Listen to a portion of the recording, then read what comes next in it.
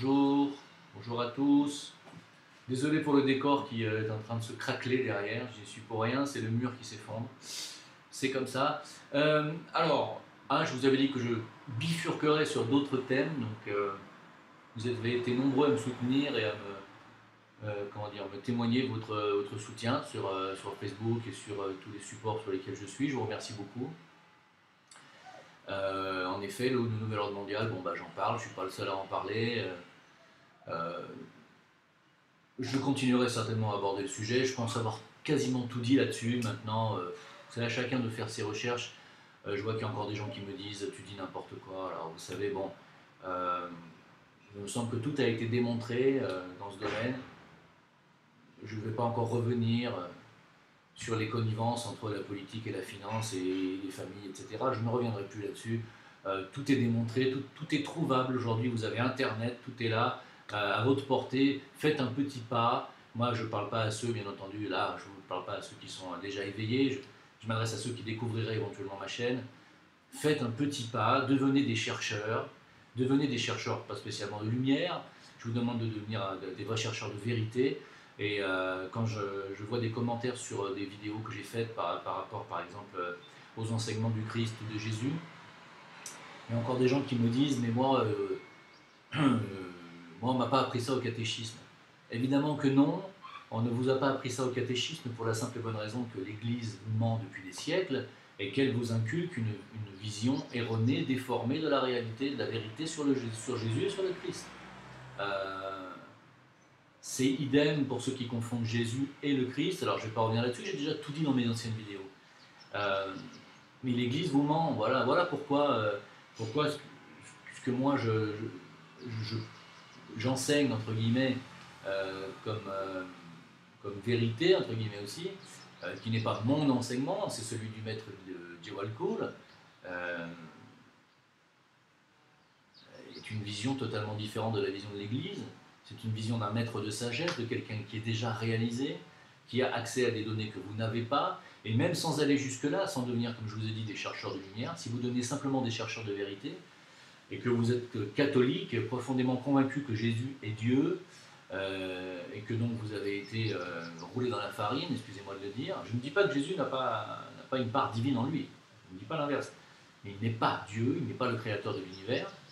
Euh, pour ceux qui croient encore ça, les catholiques, il existe, il suffit de chercher des évangiles apocryphes, des textes qui disent que non seulement Jésus était marié, il avait une descendance, euh, Myriam était sa femme, n'était pas une pute, euh, et puis euh, qu'il n'est pas mort sur la croix aussi. Il y a aussi des textes qui le disent. Hein. Voilà. Donc, notamment le prieuré, le prieuré de Sion qui euh, détient des, documents qui prouvent que Jésus a une descendance et qu'il n'est pas mort sur la croix, qu'il a continué à vivre dans le sud de la France. Voilà. Euh, donc il suffit de chercher. Si vous cherchez un petit peu, vous verrez que tout ce que vous a appris l'Église est totalement, pas de A à Z, mais est faux en grande partie euh, sur ce qui concerne la divinité de Jésus. Jésus était un, être qui avait un degré spirituel qui pour l'époque était très rare, était même unique, ce qui lui a permis de recevoir en lui le Christ qui, lui, est le vrai Messie. Hein, voilà, j'ai déjà expliqué tout ça. Aujourd'hui, je voudrais parler d'autre chose. Je voudrais parler de, de thérapie, de médecine, de, santé, de guérison, de, recours euh, aux médicaments homéopathiques, alliopathiques, phytothérapiques, élixirs, etc. Euh, il faut bien comprendre une chose d'abord, c'est que moi, j'ai toujours dit que c'était la voie du milieu qui m'intéressait. C'est-à-dire qu'il ne faut pas être un intégriste de la pensée en ce qui concerne la santé. Quand vous avez un problème aigu, n'hésitez quand même pas à vous faire aider par un médecin qui va vous prescrire un, traitement chimique, sans parler de chimio, sans aller jusque-là peut-être. Euh, si on peut éviter d'aller jusqu'au stade 6 de la maladie qui est le cancer, si on peut euh, éviter d'aller jusque-là, euh, en s'intéressant un peu aux médecines alternatives, comme la médecine chinoise, par exemple, qui est une médecine préventive et qui va vous empêcher, vous éviter de tomber si bas. Parce que quand vous avez un cancer, c'est que ça fait des années que vous négligez votre corps ou que vous avez été pollué par une source euh, dont vous avez négligé aussi la, puissance destructrice. La médecine chinoise va être là pour euh, bloquer les effets pervers de tout agent pathogène et vous évitez de, tomber jusqu'au stade 6 de la maladie, le stade 6 étant le cancer et des maladies très dégénératives, euh, mortelles. Voilà, donc moi ce qui m'intéresse bien entendu c'est le travail préventif, c'est-à-dire d'aller en amont et d'aller empêcher que le barrage s'effondre et, que, toute la vallée soit inondée. Vous avez compris la métaphore, euh, quand il s'agit de, problèmes viraux, bactériens, si on ne fait rien, ça finit en désastre ça finit en désastre parce que le système immunitaire panique, si je puis dire, essaye de combler euh, son impuissance et son incapacité à gérer ces germes qu'il n'arrive pas à contrecarrer. Et euh, cela vous provoque des tas et des tas de symptômes euh, qu'on pourrait appeler effets secondaires, qui sont des symptômes réactionnels en réalité à des attaques de germes, à des attaques bactériennes, à des attaques virales, et votre système immunitaire est dépassé. Vous êtes dans ce cas ce qu'on appelle immunodéprimé, à savoir que votre système immunitaire n'est plus assez réactif, ni assez fort pour répondre à toutes ces attaques. Et dans ces cas-là, vous développez des symptômes qui peuvent être des douleurs articulaires, des gonflements, des douleurs musculaires, tendineuses, euh, des maux de tête, bien entendu, des problèmes digestifs. Hein, les, symptômes sont nombreux, des problèmes oculaires, des problèmes de vue, des acouphènes, des problèmes ORL, des problèmes de dents, il y en a tellement. Tous les effets secondaires que vous pouvez avoir, toutes les douleurs que vous pouvez avoir, des douleurs parasites qui ne semblent venir de nulle part, sans raison, sont des effets secondaires réactionnels euh, au fait que votre corps ne sait pas gérer un intrus. Voilà. Donc, euh, je parle toujours en généralité parce que bien sûr, il y a toujours des cas exceptionnels, euh, des maladies génétiques, etc., contre lesquelles on ne peut rien. ça, il faut aller chercher les causes beaucoup plus loin, dans le causal, et on n'en parlera peut-être pas aujourd'hui. Donc, moi, ce qui m'intéresse, si vous voulez, ce sont les thérapies qui fonctionnent. Euh, je viens de me taper un abcès dentaire là, ces dernières semaines. Euh, la médecine chinoise, j'ai essayé. Euh, quand on en arrive au stade où on a l'impression que quelqu'un vous traverse la mâchoire avec une chignole, la douleur est tellement horrible qu'il n'y a plus le choix. on va chez son docteur et il vous prescrit des anti-inflammatoires, des antidouleurs et des antibiotiques. C'est une obligation, parce que sinon vous, sinon, vous cognez la tête contre les murs tellement vous avez mal. Donc, j'ai essayé, j'ai essayé la médecine chinoise. Malheureusement, il me fallait une dose en 15 de pyrogénium, en 15, 15 CH en homéopathie, et la pharmacie était fermée tout le week-end. Je ne pouvais pas attendre trois jours. Résultat des courses, je suis allé en urgence euh, à la clinique dentaire qui m'ont prescrit, bien entendu, tout de suite antibiotiques et tout le machin. Ça fait cinq jours et je ne vous dis pas que ça va beaucoup mieux. Hein. Euh, la douleur est moins aiguë, mais ça fait toujours mal. Mais quand même, c'est juste pour vous dire que euh, j'ai pas été intégriste de la pensée. J'ai dit, voilà, là, ça va loin, ça fait mal, on a recours aux chimiques, on n'a pas le choix, on est obligé. Je sais très bien qu'avec euh, la prise d'antibiotiques, mon biote intestinal va être totalement bouleversé. Euh, je vais en avoir pour une semaine derrière à le refaire. Bon, c'est pas grave.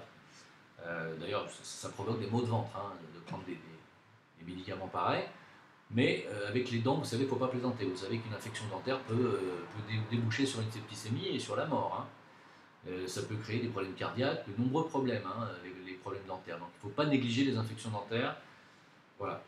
Euh, mais disons que quand un, problème dentaire survient, c'est souvent un dysfonctionnement du méridien de la rate, l'énergie de la, euh, pardon, pas de la rate, du rein, hein, de l'énergie du rein. Le rein a été perturbé par quelque chose. Par quoi? Alors moi, en ce qui me concerne, je vais parler de mon cas personnel. Je venais juste de faire la cure du foie, cette fameuse cure du docteur Clark dont j'ai parlé dans une autre vidéo que vous pouvez trouver sur Google. Vous tapez cure du docteur Clark, cure du foie, et vous allez voir le protocole qui est très facile à faire, qui dure à peine 12 heures. Euh, ça nettoie votre foie. Et le lendemain de la cure du foie, j'ai commencé à avoir ces symptômes. Hein. donc, euh, euh, la cure du foie, très certainement, a dérangé l'énergie du rein parce que c'est une cure qui, quand même, est fatigante, fatigue, prend beaucoup d'énergie. Et donc le rein, le rein dépense beaucoup d'énergie hein, pendant cette cure. c'est pour ça qu'il faut, on dit toujours qu'avant la cure du foie, il faut faire la cure du rein. Hein, pendant 21 jours, faites d'abord la cure du rein. En prenant de décoction d'aubier de tilleul pendant 21 jours dans, un litre et demi d'eau. Un litre d'eau par exemple. Euh, là, je ne l'ai pas fait, j'ai pas nettoyé mon rein, j'ai fait la cure du foie directement. Ça fatigue, ça tire sur l'énergie du rein. Derrière ça, comme j'ai eu pas mal de germes intestinaux ces derniers temps, le germe intestinal fatigue aussi l'organisme puisqu'il demande à votre système immunitaire d'aller combattre les germes intestinaux. C'est le rein qui s'occupe du système immunitaire, encore une fois, médecine chinoise. Le rein fatigue quand il y a des infections à répétition. Donc, infection à répétition, le rein est fatigué. On fait une cure du foie derrière ça pour se nettoyer. Ça tire sur l'énergie du rein. Résultat des cours, je me retrouve. Parce que le rein gère le système immunitaire, mais il gère aussi tous les, toute l'ossature et il gère aussi les dents et, tout l'ORL. Hein. Ça, c'est euh, la sphère du méridien du rein en médecine chinoise. Quand vous avez des problèmes ORL, vous avez des problèmes sur le rein. Quand vous avez des problèmes dentaires, vous avez des problèmes sur le rein. Et il gère aussi le rythme cardiaque. Si vous avez des insuffisances cardiaques, si vous faites euh, de la tachycardie, de la rythmie cardiaque, c'est le, rein. Hein. Euh, n'allez pas en parler à votre cardiologue parce que votre cardiologue va vous dire qu'il n'y a pas plus de rapport entre le cœur et le rein qu'entre votre carburateur et votre radiateur dans une voiture. Euh, il ne faut pas aller parler de choses à des gens qui n'ont pas été formés pour ça. Mon père a des problèmes de cœur, je lui ai dit qu'il avait des problèmes sur, la sphère rénale. Et effectivement, sur le plan ossature, il se tasse comme ça en vieillissant, il, devient comme ça. Je lui ai dit, le fait que tu te déformes sur le plan osseux, le fait que tu aies des problèmes de, tachycardie et d'arythmie cardiaque, prouve que tu as des problèmes sur, sur la sphère rénale. Et quand j'ai pris ses poux pour voir où il en était, parce qu'en médecine chinoise, on prend les poux, vous savez qu'on a, on a six poux par côté. Hein. Alors, ça, c'est démontré hein, scientifiquement, effectivement. On s'est rendu compte qu'il y avait six, terminaisons nerveuses euh, sur le pouls, à cet endroit-là, au niveau de l'artère, ici. On a six poux, on voit mieux de ce côté-là. Alors, quand on prend les poux en médecine on prend les deux mains en même temps, on prend les deux, on prend les deux mains. Et donc, euh, on a deux poux, enfin, on a six sphères par, par poux. Je vais vous expliquer comment ça fonctionne. Mais quand on prend les poux d'un patient, chaque sphère correspond à un organe. Hein. chaque, chaque, pulsation, euh, selon l'endroit où on parle, correspond à un organe. Euh, c'est cet organe qui, selon comment ça va battre sous votre doigt, alors pour l'entraînement bien entendu, quand j'ai pris les poux de mon père, j'ai vu que sa sphère intestinale était claquante, donc on était sur une infection intestinale. Donc très certainement de très long terme, parce que mon père est quelqu'un qui a un ventre comme ça. Donc, à mon avis, c'est quelqu'un qui a des infections intestinales depuis des décennies, et quand on a des infections intestinales depuis des décennies, ou des germes intestinaux, tout simplement, hein, même s'il n'y a pas de, signes cliniques, c'est-à-dire il n'y a pas de diarrhée, il n'y a pas de, dysfonctionnement en particulier de du transit, on a quand même des germes qui sont pathogènes dans le ventre et qui, fatiguent énormément l'organisme, qui tirent sur le rein, et on ne se rend pas compte parce qu'on est immunodéprimé. Quand on est immunodéprimé, on n'a pas de symptômes visibles. Pas toujours. Il y a des gens qui n'ont plus du tout de symptômes qui n'ont plus de fièvre, qui n'ont plus de... Parce que la fièvre est, une réaction du système immunitaire. Quand on n'a plus de fièvre à une attaque virale, c'est qu'on a un système immunitaire qui est littéralement inexistant, à plat. Et donc, il y a des gens qui n'ont plus de symptômes à des, attaques virales ou, bactériennes, et quand ils n'ont plus de symptômes, c'est qu'ils sont immunodéprimés. Ce qui n'empêche que au pouls, l'intestin va dire eh, j'en peux plus, ça tape, Donc, j'ai dit à mon père tu as déjà intestinaux, certainement depuis très longtemps, euh, qui tire sur ton rein, ton énergie du rein qui euh, envoie de l'énergie défensive hein, en permanence. Et quand le rein euh, sollicite l'énergie défensive, ça le fatigue. Et quand ça le fatigue, il ne peut plus envoyer son énergie correctement au cœur, ni, l'envoyer correctement dans l'ossature. Et vous avez des problèmes dentaires, et vous avez des problèmes osseux, de déformation osseuse, des alux valvus, des agus valvus. Vous savez, c'est des déformations du pied, des oignons. vous avez tout ce, type de, de déformation osseuse et puis euh, de l'arthrite, de l'arthrose, euh, bien entendu, des problèmes cardiaques, voilà, comme j'ai dit, et des problèmes ORL. Hein. Voilà, donc euh, mon père est allé répéter ça à son cardiologue et il lui a dit la phrase que je vous ai citée avant, il a dit il n'y a pas plus de rapport entre les reins et le cœur qu'entre le carburateur et, le radiateur. Ce qui prouve qu'il ne connaît rien ni en mécanique, ni en médecine chinoise, ni finalement en médecine holistique. Évidemment, tous les organes du corps sont interconnectés et euh, et se soumettent les uns, entre, les uns entre, avec les autres et euh, s'envoient leur énergie mutuellement euh, pour le bon parfait équilibre de votre corps. C'est un équilibre fragile. voilà, donc il faut savoir un peu comment fonctionne la médecine chinoise. C'est une médecine géniale. et c'est une médecine qui peut aider dans de nombreux cas à éviter d'aller dans le gouffre, hein, de tomber dans le gouffre, c'est-à-dire d'aller trop loin d'aller au clash, d'aller d'aller se taper une maladie auto-immune et des choses comme ça. Quand vous êtes arrivé à la maladie auto-immune, déjà, c'est que ça fait très longtemps que votre système immunitaire vous prévient, comme il peut. Il vous prévient parce qu'il vous envoie des sinusites à répétition, parce qu'il vous envoie des, de l'arthrite, de l'arthrose, des déformations osseuses. Il vous dit aide-moi, je ne sais plus quoi faire. C'est un signal. La maladie, c'est vraiment le mal a dit. C'est ce qui te fait mal te dit quelque chose, te parle. Ton corps t'envoie des, des douleurs parce qu'il te parle et t'explique que quelque chose ne va pas. C'est ça la maladie. La médecine chinoise interprète ce mal. Alors pour en revenir au pouls, vous avez sur le poignet gauche les deux premiers pouls qui sont l'un sur l'autre. Euh, voilà, qui sont. Alors en médecine chinoise, pour en revenir juste un petit peu avant de parler des poux, on considère qu'il y a des organes trésors, qui sont des organes yin, ceux qui ont la fonction d'assimiler nutriments euh, et de nourrir les cellules. Hein. et les organes yang, qui sont des organes d'élimination et d'expulsion des déchets. en, schématisant, hein, c'est un peu ça. On a les organes yin et les organes yang. Donc les organes yin sont des organes trésors, à savoir le rein, le foie, le cœur, le poumon et la rate. Ce sont les cinq organes trésors en médecine chinoise. Et leurs organes ateliers, qui sont des organes yang, pour le cœur, euh, pour le rein, l'organe atelier, c'est la vessie. Effectivement, le rein assimile euh, l'urine et la vessie l'expulse. Le foie, son organe atelier, c'est la vésicule biliaire qui expulse la, bile créée par le foie. Euh, le foie a des tas de fonctions assimilatrices. Étudiez-les si vous voulez, je ne vais pas toutes les énumérer ici, il y en a plus de 50. le cœur est un organe trésor. Son organe atelier, contrairement à ce que l'on pourrait imaginer, eh bien, c'est l'intestin grêle. On s'est rendu compte qu'il y avait un lien direct entre les dysfonctions de l'intestin grêle et le cœur. Et donc, euh, tout ce qui est élimination du cœur va dans l'intestin grêle. Donc, quand vous avez des problèmes d'intestin grêle, ça peut venir d'une dysfonction du cœur et vice-versa. Et comme l'intestin grêle est lié avec le gros intestin, si vous avez des problèmes de gros intestin, ça peut aussi jouer sur l'intestin grêle qui au final va jouer sur le cœur. Vous voyez comme quoi tout est interdépendant. Euh, le poumon, organe trésor bien entendu, assimilation de l'air et de l'oxygène dans vos cellules. Son organe atelier, l'organe yang, c'est le gros intestin. Vous voyez que le gros intestin est lié au poumon et que l'intestin grêle est lié au cœur. Vous voyez quand même l'importance du cœur et des poumons dans, l'organisme, puisque le cœur, lui, va gérer euh, dire, l'acheminement des globules dans les cellules grâce à la circulation sanguine. Euh, et le poumon, lui, va apporter l'oxygène sur les globules. Hein. Donc le poumon et le cœur sont liés. Eh bien, leurs organes ateliers sont l'intestin grêle et le gros intestin qui sont liés aussi. Hein. Ensuite, on a la rate. La rate qui est un organe très important et qui est aussi l'assimilateur du prana et, du, prana terrestre et solaire, sachez-le. Euh, l'organe atelier de la rate sera l'estomac. L'estomac qui expulse euh, la nourriture vers les intestins ou alors vers le haut quand, euh, quand vous vomissez. L'estomac qui est un organe yang, typiquement yang. Voilà.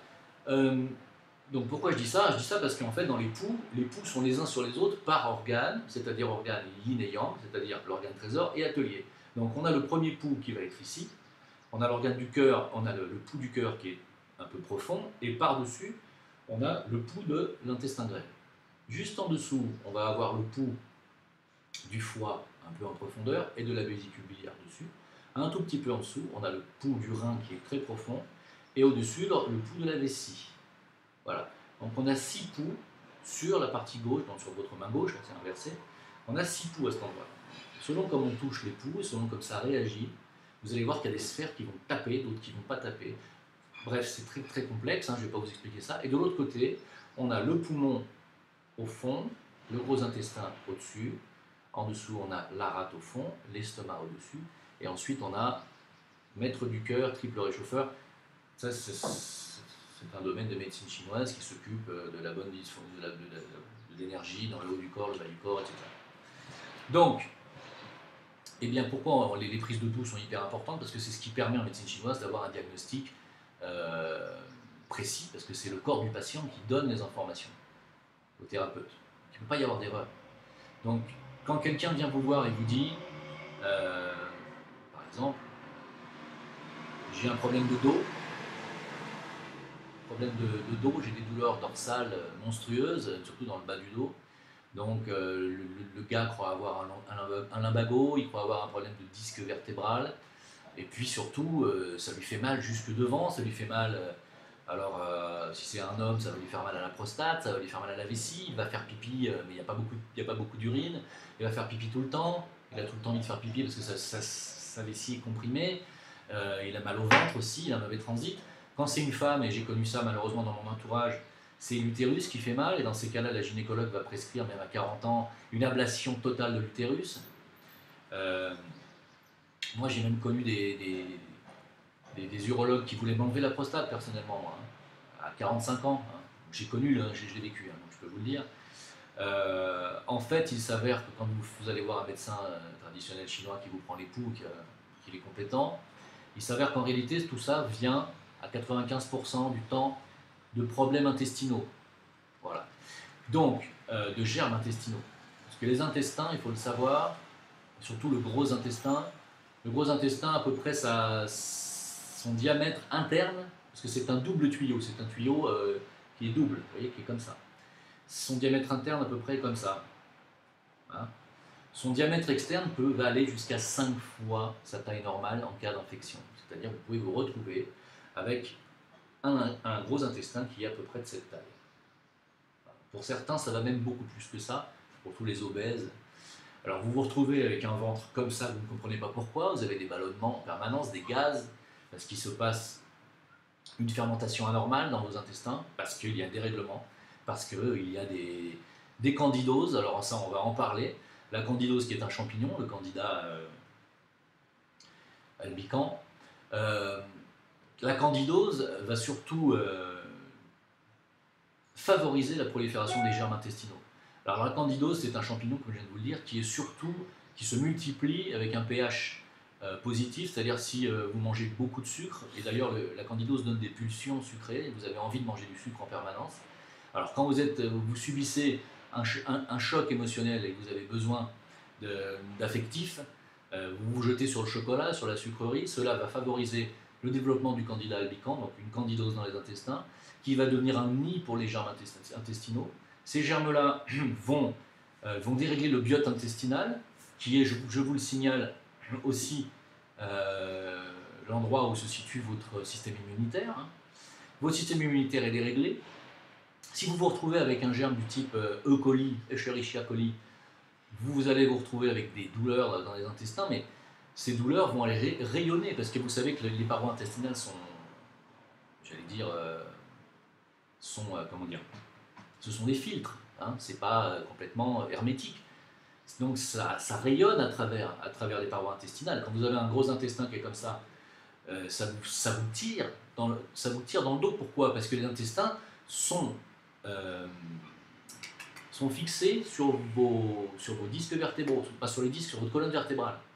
Hein tous, vos, intestins sont fixés par des ligaments sur votre, colonne vertébrale. C'est pour ça que quand vous avez un ventre qui gonfle vers l'avant, ça vous cambre et vous avez l'impression d'être toujours cambré. Et ça fait très très mal à la longue, ça tire sur, bien entendu sur vos disques vertébraux. Et surtout, c'est que la taille de ces gros intestins, le fait qu'ils soient gonflés 5 fois euh, plus que ça normal, va faire pression. Regardez, prenez, prenez un schéma euh, euh, de physiologie organique et vous allez voir que la vessie, la prostate sont sous les intestins, l'utérus aussi. Et euh, vous allez voir que, bien entendu, ces organes vont être sous pression parce que le gros intestin est, gros et comprime les organes. Donc vous avez envie de faire pipi en permanence, bien entendu. Euh, dès que vous avez un petit peu d'urine dans la vessie, paf, ah, j'ai envie d'y aller. Donc vous faites pipi trois gouttes, quoi. Euh, vous avez mal à la prostate, bien entendu, parce que ça va juste en dessous. Et puis l'utérus également chez les femmes. Hein. Donc les gynécologues dépassés vont aller prescrire une, une ablation totale de l'utérus parce qu'ils ne savent pas d'où viennent ces douleurs. Et qu'en prévention aujourd'hui, vous savez qu'on arrache, les, on, arrache les glandes mammaires des femmes et on leur coupe les utérus. Donc c'est pratique. Hein Sauf que ça vient pas de là le problème, hein ça vient des intestins. Voilà, et donc quand on règle les problèmes intestinaux en médecine chinoise et quand on règle le problème par exemple du Escherichia coli dont j'ai parlé, ce germe qui fait partie de votre flore intestinale mais qui peut devenir pathogène parce que d'un coup il se surdéveloppe à cause d'une candidose, à cause d'un choc émotionnel. J'ai expliqué comment ça fonctionne, comment la chaîne fonctionne. Vous avez un choc émotionnel, vous vous jetez sur le sucre, le sucre développe une candidose qui va aller développer, surdévelopper un germe qui est dans votre biote intestinale, par exemple un Escherichia coli. Et un Escherichia coli, quand il se surdéveloppe, votre système immunitaire, il est passé, si on ne lui dit pas, d'aller réguler immédiatement le problème de surproduction de l'Escherichia coli. Et ça, il n'y a que l'homéopathie pour aller le dire à votre système immunitaire. L'homéopathie ne contient pas de, de principe actif. L'homéopathie est un signal, une information qui est encodée et qui est contenue dans l'eau, qui est contenue dans les granules homéopathiques. C'est un signal encodé dans l'eau de l'homéopathie qui va dire à votre système immunitaire voilà, il y a un problème avec tel germe, il faut le régler. Et ça va vite en général. Le problème est réglé en trois semaines maximum avec l'homéopathie. Le germe pathogène redevient normal au bout de trois semaines. Quand même, quand ça fait des années que vous souffrez, hein, trois semaines, c'est pas cher payé. Un Escherichia coli peut provoquer à la longue des perforations intestinales. Et même à la longue des cancers du côlon. Comme je vous ai dit, quand on s'incruste, quand la maladie s'incruste, on arrive à des stades de maladie qui ensuite ne sont plus guérissables. Alors, dans ces cas-là, bien entendu, on arrive à des ablations de côlon, on arrive à de la chimio, à de la radiothérapie, et là c'est trop tard. Quand vous arrivez à des, à des, traitements chimiques aussi puissants, le corps il, jette l'éponge, il dit bah allez c'est bon. En général, il vous reste plus longtemps à vivre, sauf exception. Hein. Voilà. Donc, voilà comment fonctionne la médecine chinoise, et la médecine chinoise va, se, va, donc travailler en prévention. Alors, elle peut fonctionner aussi en thérapie euh, active dans le cas de, germes intestinaux. Et vous allez voir que quand vous allez régler vos problèmes de germes intestinaux, pour ceux qui ont mal au dos, le problème de mal de dos va passer en même temps que vos intestins vont revenir à leur taille normale. C'est tout à fait logique. Vos problèmes urinaires aussi, vos problèmes d'utérus aussi, vos problèmes de prostate aussi. A votre problème de fatigue chronique aussi, parce que la fatigue chronique, bien entendu, s'accompagne d'un dérèglement euh, euh pas hormonal, comment dire, d'attaque euh, bactérienne ou virale permanente, qui font que le système immunitaire est sans arrêt sollicité et que l'énergie du rein, qui, est celle qui vous donne l'énergie vitale dans le corps, hein, l'énergie du rein est sans arrêt sollicitée pour aller soigner des germes, pour aller contrecarrer des problèmes, et votre énergie du rein, euh, ben, elle, chute, et c'est votre énergie vitale, l'énergie du rein et vous n'avez plus d'énergie vitale et vous êtes en fatigue chronique. La fatigue chronique, vraiment, c'est vraiment un problème de rein. Et le rein, quand il est trop sollicité, il faut aller chercher pourquoi. Il est trop sollicité parce qu'il y a des infections. Voilà. Voilà à quoi sert la médecine chinoise. Voilà, je, vois qu'on est déjà à 27 minutes 30. J'espère que ça va parler à certains d'entre vous, et à beaucoup d'entre vous, parce que, euh, vous savez, moi, tous les jours, je suis confronté à des gens qui sont dans mon entourage, ont des cancers, ont des chimios. Là, il y en a encore qui, suivent des chimiothérapies. J'ai beau leur expliquer que, bon, bah, s'ils en sont arrivés là, c'est qu'il n'y a pas. Ok, qu'ils le fassent, hein, fassent. D'abord, primo, il existe euh, des nosodes homéopathiques pour contrecarrer les effets pervers de la chimio, quand même, donc il faut les prendre. Il ne faut pas hésiter à les prendre, c'est comme pour la vaccination. Il y a des nosodes pour éviter les, effets pervers des vaccins. Euh, mais surtout, s'ils en sont arrivés là, c'est parce qu'ils n'ont pas écouté les signes avant-coureurs de leur organisme. Hein. Voilà. Et moi, ils ne me croient pas quand ils me disent t'as qu'à prendre tes granules, machin. Mais moi, je prends mes granules depuis 4 ans et demi, j'ai pas pris d'antibiotiques depuis 4 ans et demi. Bon, là, j'ai dû en prendre à cause d'une infection dentaire, parce que j'ai pas été assez vigilant euh, sur mon rein. Vous voyez, je vous expliquais en début de vidéo. Et vous voyez à quel point le rein est un organe très important dans tout ce qui est euh, fatigue, problème infectieux, euh, problème de tachycardie, de fatigue chronique bien sûr, problème ORL, tout ce qui est, tout ce qui est infectieux, c'est le rein. Et soyez très prudent là-dessus parce que dès que vous avez un signe, symptôme d'infection, un symptôme d'élimination ou quelque chose, sachez que ça va aller tirer sur votre rein et que derrière vous avez une grande fatigue parce que c'est le rein qui gère la fatigue aussi. Il hein, faut bien comprendre ça. Donc, euh, nettoyer son rein, nettoyer ses intestins en permanence parce que l'intestin euh, est le siège même de l'assimilation de votre, de énergie. C'est l'intestin, c'est votre système digestif, on va dire un système digestif, qui va broyer les aliments et faire en sorte que les nutriments contenus dans les aliments que vous mangez, même si vous mangez de la, merde, pardon pour le, langage, euh, il y a quand même des nutriments. Quand vous mangez un, Big Mac, il y a quand même des nutriments. Euh, le foie va faire son travail de tri, euh, l'estomac va faire son travail de broyage, et les intestins ensuite vont dire bah, tiens, bah, il y a quand même ça à prendre. L'autre côté, c'est des déchets, il y a ça à prendre, ça c'est des déchets, et tous les déchets se retrouvent dans le gros intestin derrière. Le gros intestin, il va finir par encore assimiler quelques nutriments qu'il va les retrouver, hein. mais euh, au final, en, fin de, chaîne, j'allais dire au bout de votre gros intestin, c'est plus que du déchet. C'est comme ça que ça fonctionne, on est un, on est un centre de tri. Hein. Le système digestif est un centre de tri et d'assimilation de nutriments qui vont ensuite aller dans vos cellules. C'est comme ça que ça marche. Vous êtes un centre de tri. En fait, le corps humain est une centrale de tri euh, qui, va aller dans les aliments que vous, que vous emmagasinez, aller chercher l'énergie qui est valable pour votre corps. Et des fois, euh, vous ne lui donnez pas de la bonne énergie, et même très rarement hein, dans notre monde contemporain, on mange très mal, et la malbouffe fait que votre corps ben, s'encrasse, s'encrasse, s'encrasse d'année en année, d'année en année, et plus vous mangez mal et des produits chimiques, et plus votre, votre corps s'encrasse, et il arrive un moment où euh, c'est le clash, le foie étant un filtre extraordinaire, mais qui s'auto-régénère, mais au bout d'un moment, quand il est tellement encrassé, c'est le cancer du foie, et parfois, il n'y a plus grand-chose à faire. Voilà. Quand on arrive au cancer du foie, c'est qu'on n'a vraiment fait, pas fait gaffe à ce qu'on a bouffé. Euh, et quand on vieillit, bien entendu, les organes sont de plus en plus encrassés. Donc quand on vieillit, il faut faire de plus en plus attention à ce qu'on mange et à ce qu'on boit. Et c'est pour ça qu'en vieillissant, on ne peut plus se prendre des cuites comme on prenait quand on avait 20 ans. Le foie ne supporte plus, n'a plus l'énergie pour. Donc, euh, donc il faut faire attention à ce qu'on mange et à ce qu'on boit, et à ce qu'on absorbe, et à ce qu'on donne à son corps comme carburant, car les aliments sont du carburant. Donc plus on va donner du carburant propre, de l'essence propre, de l'énergie propre à son corps, et plus moins il aura de travail de digestion et de tri à faire, et plus vous aurez de la bonne énergie dans vos cellules, et plus vos organes de tri seront en, bonne santé, et moins vous aurez de, de chances de développer des maladies lourdes. Je pense que c'est clair. L'alimentation est la base de tout, je pense que vous avez compris. Voilà. Donc les excès, c'est bien, mais une fois par semaine, mais pas plus, par exemple. Il ne faut pas être intégriste non plus, dire moi je vais manger de l'herbe à partir de maintenant. Non. on a un corps qui est, extraordinaire, on peut, on peut, manger à peu près n'importe quoi, mais c'est toujours euh, la dose. Hein. Quand on, est dans des, phases de notre vie où on n'est pas équilibré, où on subit des chocs émotionnels, on est dans des phases de déséquilibre et de déséquilibre alimentaire très souvent. Euh, je suis bien placé pour vous le dire. Croyez-moi, moi aussi, ça m'est arrivé, et euh, ça m'est arrivé il n'y a pas longtemps, je sais très bien de quoi je parle. Je ne suis pas en train de donner des leçons, hein. je suis en train de vous expliquer comment ça a fonctionné sur moi. Hein. Souvent, quand je parle dans mes vidéos, je parle de mon propre exemple. Hein. Voilà. Donc, euh, si cette vidéo vous a parlé, euh, n'hésitez pas à poser des questions. Je suis sur Facebook, sur la page Jim Le Veilleur, J-I-M, plus loin, Le Veilleur en un seul mot. Sur le Facebook russe que je vous invite à rejoindre, car il n'est pas surveillé par les États-Unis ni par les services secrets euh, européens, le Facebook russe qui s'appelle VK, la lettre V, la lettre K. Vous me retrouverez aussi sur Jim le Veilleur sur VK, pareil, même, même appellation.